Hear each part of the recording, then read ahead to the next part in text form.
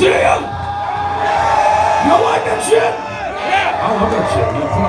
Yes, son, shit, Amber. All right, Asses. Some of seven with a wicked hand for you right now. I said some of Sever the Wicked Hand record for you right now. If that's okay with you, man. Fuck, y'all motherfuckers paid the tickets. You gotta, bought the tickets. You gotta make some fucking noise.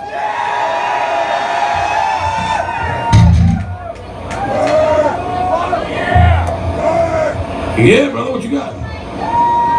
Give me what you got for a pork chop, baby. Cemetery Angel.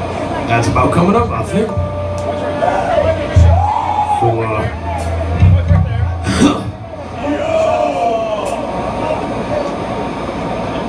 this weather, I'll tell y'all what, it ain't, to me it ain't cold, man. This, I don't know. It must be one of these Viking kind of guys.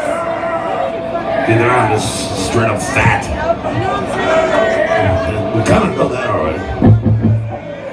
In fact, uh, Jenny, Jenny Craig wanted to touch upon uh, the, uh, the male seg- segment of the population. I got quite a few emails this week on uh, losing weight and overall uh, fat or unfat health.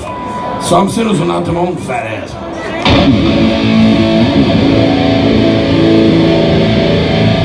So it starts with the tightest fucking roll rock and roll, is totally my.